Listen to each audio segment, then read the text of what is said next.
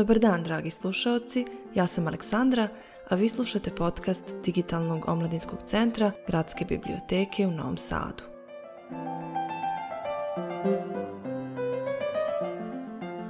I danas se bavimo jednim od kultnih dela omladinske književnosti. U pitanju je roman britanskog autora Williama Goldinga Gospodar muva. Roman je objavljen 1954. godine i u početku se sporo prodavao, ali 1960. godina dobija kultni status i počinje da se proučava u školama i univerzitetima širom sveta, a autor posle toga aktivno se posvećuje pisanju. Osvojio je Bukerovu nagradu za roman Obredi prelaza, a 83. godine osvojio i Nobelovu nagradu za književnost. Interesantna je priča kako je Golding dobio inspiraciju za roman Gospodar Muva. Naime, čitao je avanturistički roman Koralno ostrvo, viktorijanskog pisca Balantajna. Roman je u svoje vrijeme bio jako popularan, u pitanju je Robinsonada o deci koja se nađu na pustom ostrvu i treba da se snađu i prežive. Goldingu se taj roman nije svideo, bio je previše idiličan, svi likovi su bili savršeni, deca su se ponašala kao odrasli, propagirala su zapadnjačke vrijednosti kao jedine ispravne i sadržao je niz moralizatorskih epizoda sa sličnim porukama.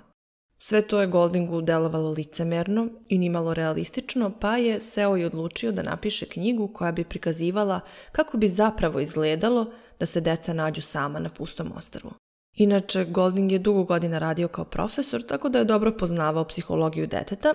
Isto tako učestvovao je u drugom svjetskom ratu i ta iskustva su također uticala na njegov rad, jer je iz prve ruke svedočio kako traume utiču na čoveka a isto tako koliko čovjek zaista može biti okrutan u situacijama kada mu je život u opasnosti. Kada svi društveni konstrukti padnu u vodu i on posegne za instinktivnim i animalnim u sebi. Tako da možemo slobodno reći da je gospodar Muva satira na sve te avanturističke priče o preživljavanju na pustom ostrvu, koje su postale popularne nakon uspeha Defoovog Robinzona Crusoa. Toliko je nastalo jeftinih kopija ovog romana da je nastao novi žanr pod nazivom Robinzonade. Ono što su ovakvi romani propagirali jesu viktorijanski ideali, opravdanje kolonijalne mitologije, nametanje ideje tereta belog čoveka, uz mnogo nacionalizma, rasizma i svega ostalog što uz ide.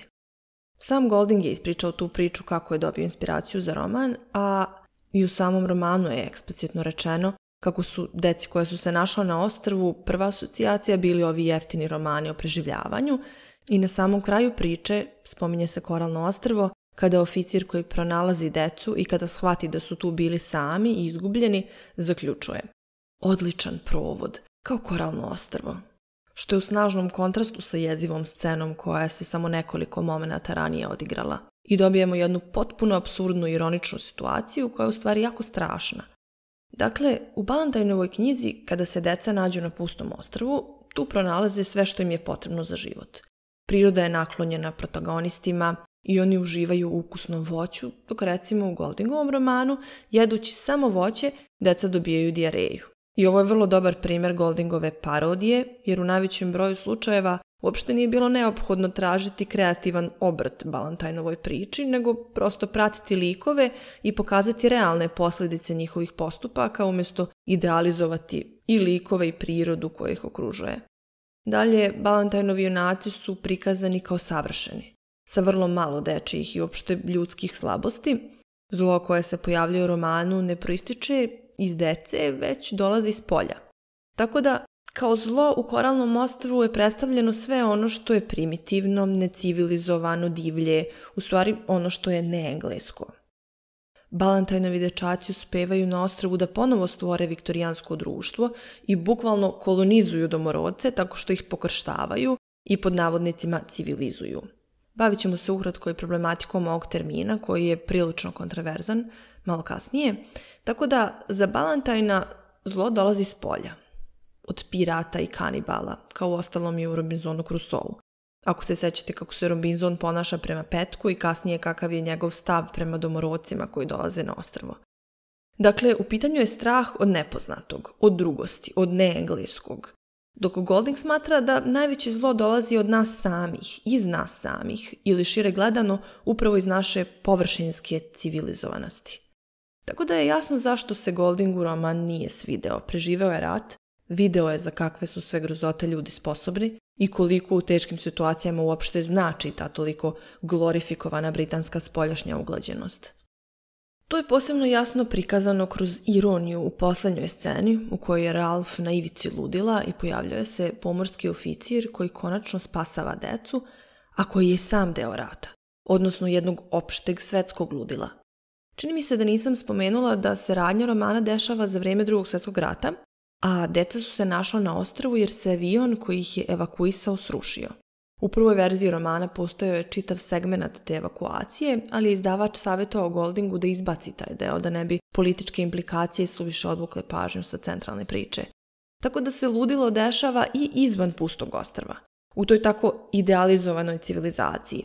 A deca koja na ostrovu pokušavaju u početku da emuliraju društveni poredak iz kojeg dolaze, na kraju zapadaju u ludilo, kao i to društvo koje ratuje.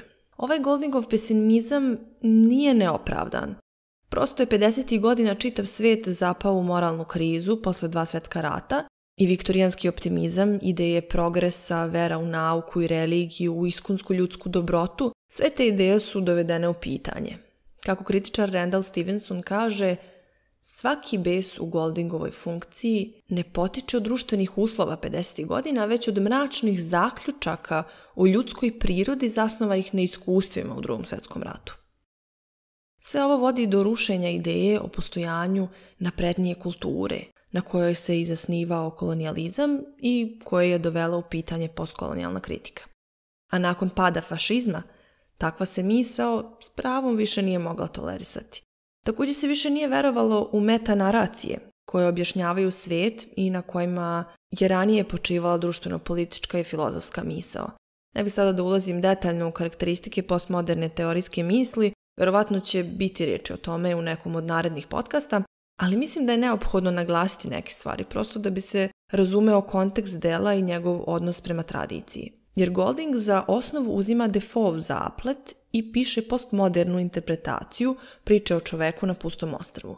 Za postmodernu književnost sve je relativno i subjektivno. I iskustvo, i moral, pa i kultura. Što je sve naravno posljedica društveno-istorijskih događaja prve polovine 20. veka. Ako vas zanima detaljnije postmodernistička poetika, preporučujem vam članak kolege Milana Maksimovića na našem blogu Bibliofil pod nazivom Suprostavljeni modeli postmodernističke poetike. Dakle, bibliofil.gbns.rs Suprostavljeni modeli postmodernističke poetike. A sada da se vratimo na roman. Dakle, zlo ne potiče iz drugosti i spoljnih uticaja, već kako Golding sugeriše, ono dolazi iznutra.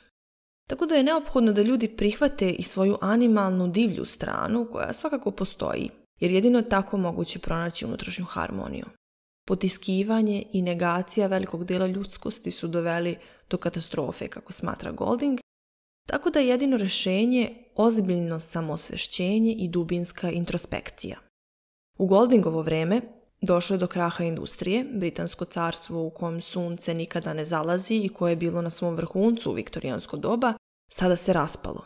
Optimistično verovanje u nekakav prosperitet, kulturološku, moralnu, civilizacijsku nadmoć zapadnog sveta i iskonsku nevinost i dobrotu ljudske duše je konačno dovedeno u pitanje.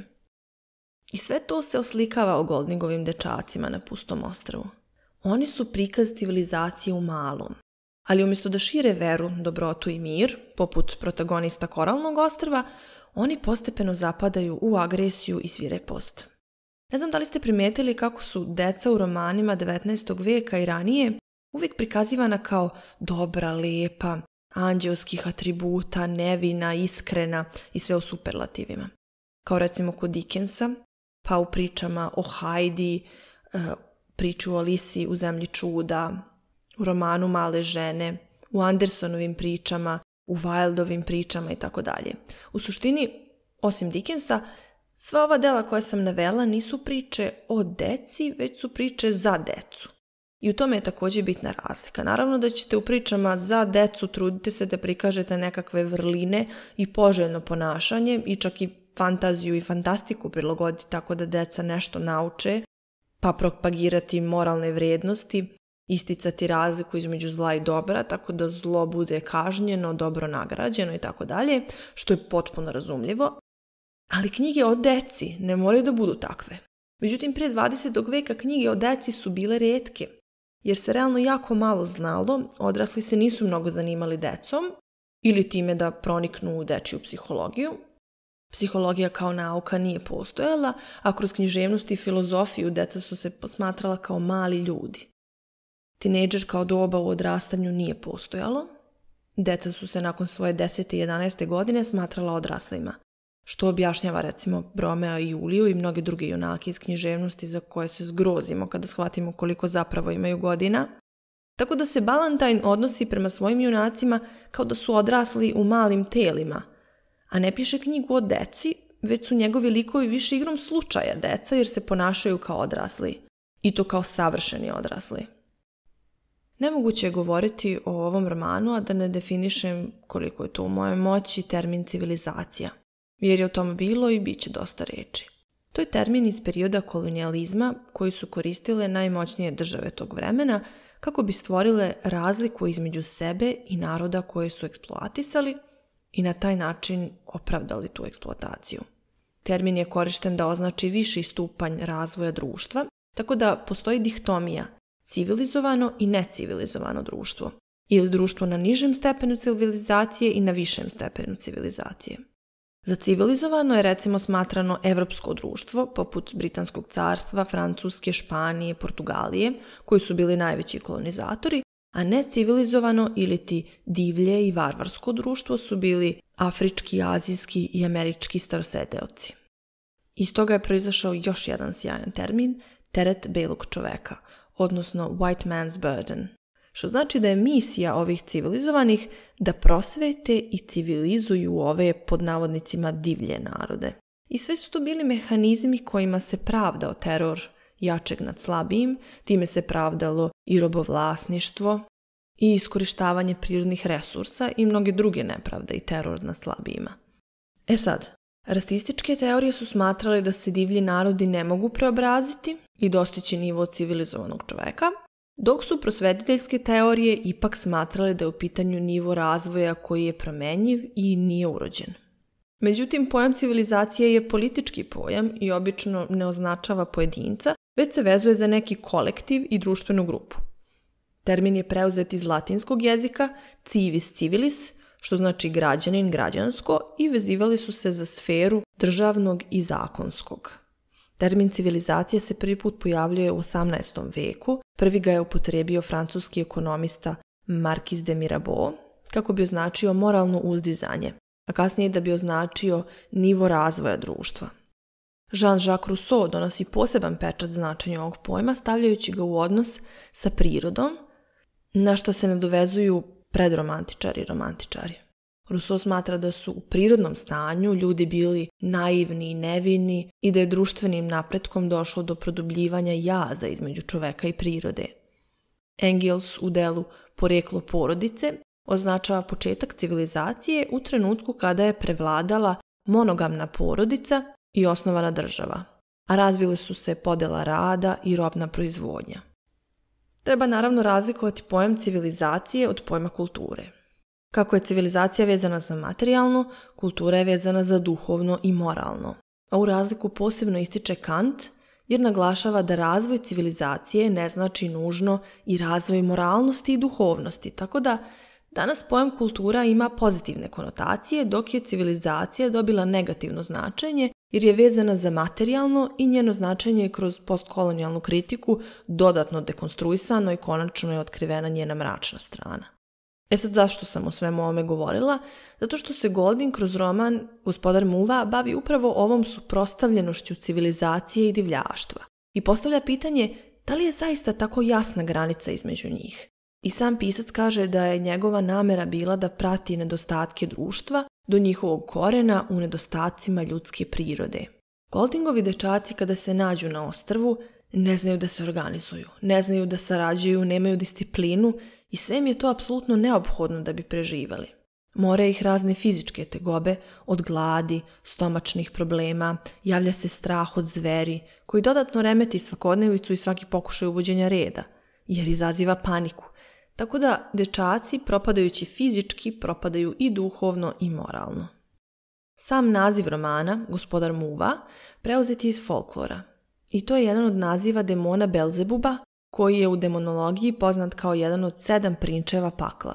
I može da leti, tako da ga nazivaju Lord of the Flyers, odnosno Lord of the Flies. U hrišćanstvu Belzebub je također drugo ime za satanu.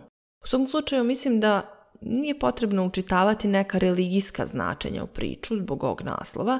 Kad se sve uzme u obzir, ovaj naslov u suštini simboliše negativnu, destruktivnu i zlu stranu koja je prisutna u čoveku i koju možemo tumačiti kroz religijsku prizmu, ali rekla bi da je to nepotrebno komplikovanje priče, mada postoje opsežna tumačenja kroz hrišćansku prizmu.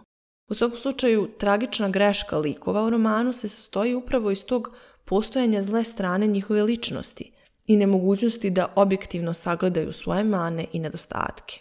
E sad, vrlo malo ljudi je u toj meri samosvesno, jer je prosto samo kritika u tom obliku vrlo teška, biti objektivan u vezi samog sebe je jako teško, gotovo je paradoksalno, a kada su u pitanju deca to se tek ne može očekivati. U tome leži glavni problem. Kako prihvatiti i pomiriti se sa iracionalnim delom sebe ako ne želite da priznate da taj iracionalni deo uopšte postoji? Savršen primjer su Jackove reči u romanu kada kaže na kraju krajeva nismo divljaci, mi smo englezi, a englezi sve rade najbolje. Iz ove rečenice možemo iščitati mnogo toga o čemu sam govorila. Dakle, ubeđenost belog čoveka u svoju nadmoć, u nekakav bogom dan integritet, u pravo da vlada svetom, u urođenu pravednost i tako dalje. I sad kako takva osoba, i u krajnjem smislu kako takva nacija, može da se izbori sa svojom mračnom stranom ako je uporno potiskuje i negira i gradi svoj identitet upravo na negaciji svojih mana i slabosti. I onda u jednom trenutku, nakon dugog potiskivanja, prosto mora sve da proključa. Tako bar smatra Golding i to preispituje u svojim delima. Interesantno je recimo i vrlo jednostavno prikazano to što dečaci na brdu vide zver. A strah od te zveri je jedan od glavnih katalizatora njihovog pada u ludilo, a za zver se na kraju ispostavlja da je mrtav padobranac. Tako da je simbolika ovdje prilično otvorena i jasna. Zver i zlo, za koje verujemo da dolaze s polja, zapravo dolaze od čoveka, odnosno ljudi su u stvari izvor najvećeg zla u svijetu, kako poručuje Golding, a negiranje te činjenice i nemogućnost da joj se suprotstavimo će nas samo dovesti do negativnih posljedica. Na kraju kada Ralph plače, kako piše u romanu, za krajem nevinosti, tami čovekovog srca i padu kroz vazduh istinskog mudrog prijatelja po imenu Pigi, i te kada se u Ralfu pojavi svijest o zlu unutar njega samog i postojanje destruktivnog principa u čitavom čovečanstvu, tek onda dolazi do razrešenja.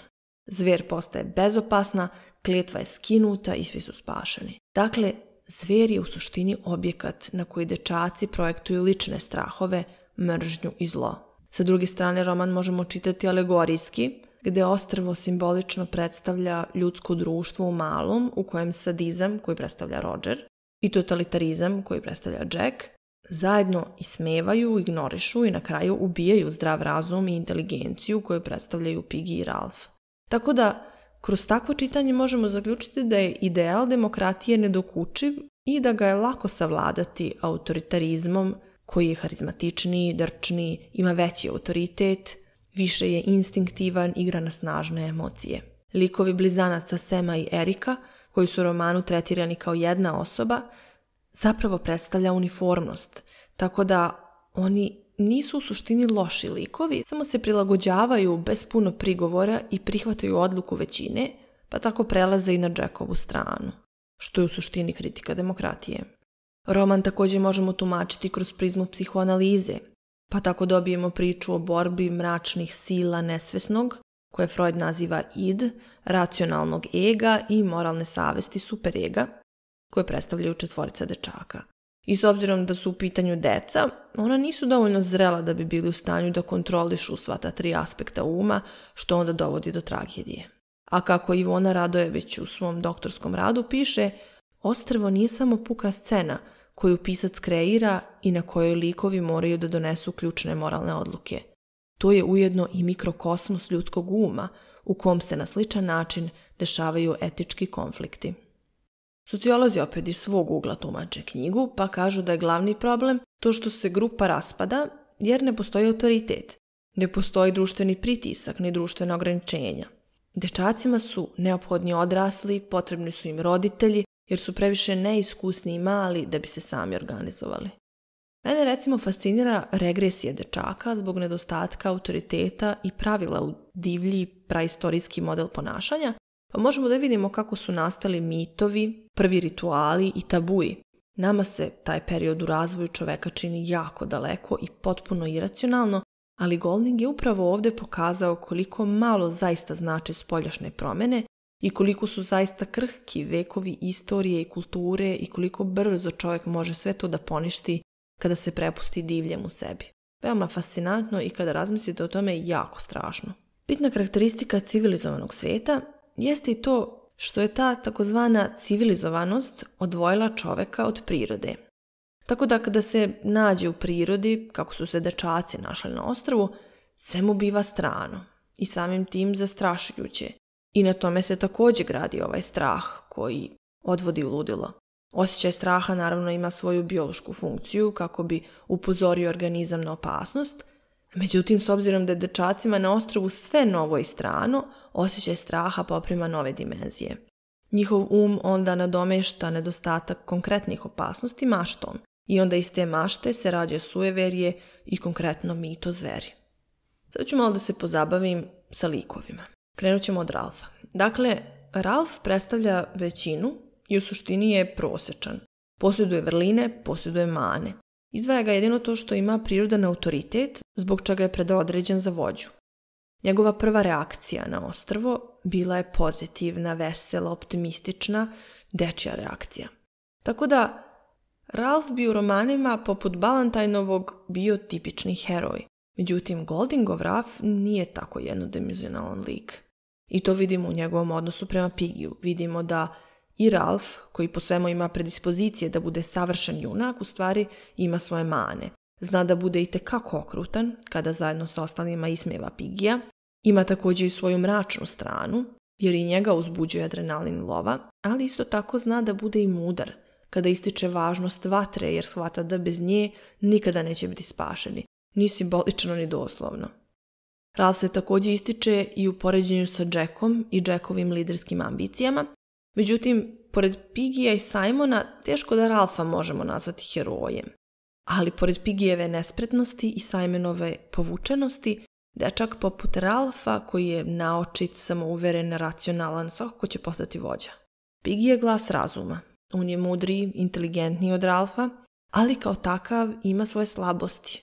Nema nikakve predispozicije vođe, naprotiv, svi ga smevaju i trpi nasilje zbog svog fizičkog izgleda i plus ima napade astme, koji naravno postaju sve učestaliji i opasniji kako čitavo društvo odbacuje razum i zapada u ludilo i na kraju ima i loš vid.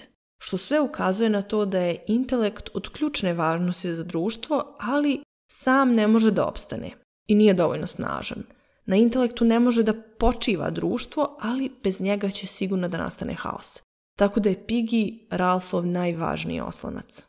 Simon sa druge strane predstavlja intuiciju, nesebičnost, empatiju, introspekciju. I on je prosječan dečak, ali on donosi dobrotu, konekciju sa prirodom i upravo zbog toga prvi strada.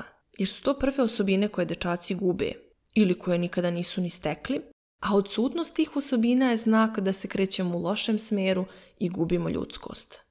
Sam i Erik, kako sam pomenula, predstavljaju većinu običnih, u suštini poštenih ljudi, koji su izmanipulisani i koji su se prepustili struji života, da tako kažemo.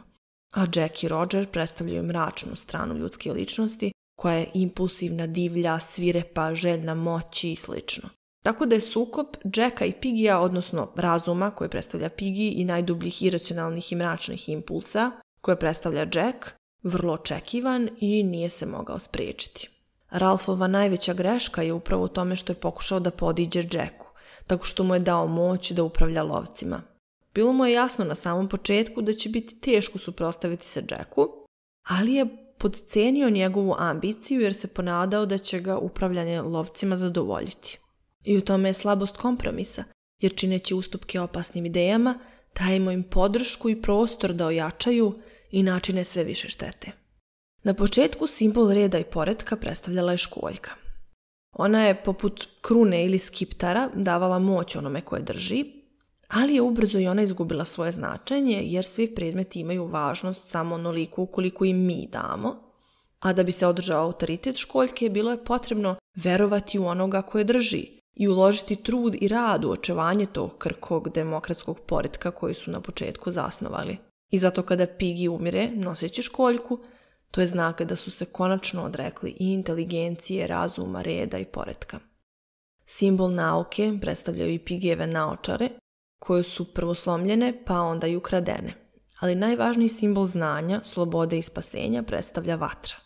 Od one praktične, da služi kao dimni signal, kao svetlo, zaštita od divljih životinja, zakuvanje hrane itd., do činjenice da se evolutivno otkriće vatre smatra prekretnicom u razvoju pračoveka, do one simbolične gde vatra predstavlja plamen znanja, razuma i tako dalje. U grčkoj mitologiji recimo Prometej je ukrao vatru sa Olimpa i dao je ljudima, zbog čega su ga bogovi kaznili tako što su ga vezali za kamen dok mu je orao kljucao jetru. Pa mu je tokom noći jetra ponovo izrasla i ujutro bi se mučenje nastavilo. Zašto ovakva kazna samo zbog vatre? Zato što Prometejeva vatra simboliše znanje, tehnologiju, nauku, to je ono što je Prometej ukrao od bogova i dao ljudima, zbog čega su ljudi napredovali i razvili se i zbog čega više nisu bili toliko zavisni od bogova. Tako da je Prometejska vatra čest i opšte prisutan simbol kroz istoriju književnosti, pa tako i u ovom romanu zauzima važno mesto. Interesantno je da Golding u suštini opovrgava ovaj antički motiv, jer pokazuje da može da se desi i suprotno, da zbog ljudske nebrige vatra bude ugašena i znanje izgubljeno. Sam Golding je izjavio, iako se divim Grcima, ja nisam jedan od njih. Ne pripadam njihovoj intelektualnoj deci. Ja sam zapravo drevni egipćanin, sa svim svojim neracionalnim duhovnim pragmatizmom i sklonosti ka dvosmislenoj veri. Lov sa druge strane predstavlja jednu vrstu inicijacije koja prerasta u ritual koji služi za dokazivanje muškosti nakon kojeg se kod dečaka javlja žudnja za krvoprolićem. Tako da ono što je u početku značilo hranu i preživljavanje postalo je samo po sebi izvor perveznog užitka. I nakon Simonove smrti ruši se tabu o ubijstvu koji postoji u modernom svijetu, nakon čega se dečaci u potpunosti predaju animalnim instinktima. Može se također raspravljati i o tome da li je potpuna predaja u stvari odbrambeni mehanizam uma, čiji racionalni deo ne može da se pomiri sa činjenicom da su bili u stanju da počine tako nešto. Ali ne bi dublje ulazila u psihologiju jer se ne razumem dovoljno pa ne bi da nagađam. Ivona Radojević, koju sam već pomenula, u svojoj doktorskoj disertaciji Degradacija civilizovanog čoveka u romanima Viljama Goldinga kaže Preuzevši primat nad modernim čovekom, razum je potisnuo svaki segment animalnog u njemu i prouzrokovao disbalans u čovekovoj prirodi. U takvim okolnostima čovek je postao otuđen i izolovan, uplašen i usamljen. Tražio je zaštitu od drugih, ni ne shvatajući da mu je potrebna zaštita od sebe. Pitanje mogućnosti istinskog moralnog spasenja direktno zavisi od uspostavljanja harmonije između civilizacije i divljaštva. Sa ovim citatom bih završila današnji podcast jer lepo zaokružuje analizu romana. Nadam se da vam je roman bio zanimljiv, da je analiza vraščistila neke stvari, možda potvrdila neka mišljenja u koja niste bili sigurni ili ste se možda samo prisjetili onoga što ste već znali, a meni bi bilo drago da ste čuli nešto što će vas inspirisati da se vratite ovom klasiku. To bi bilo sve za danas. Pratite nas na društvenim mrežama, čitajte tekstove na našem blogu Bibliofil – i čujemo se ponovo sa novom temom iz književnosti.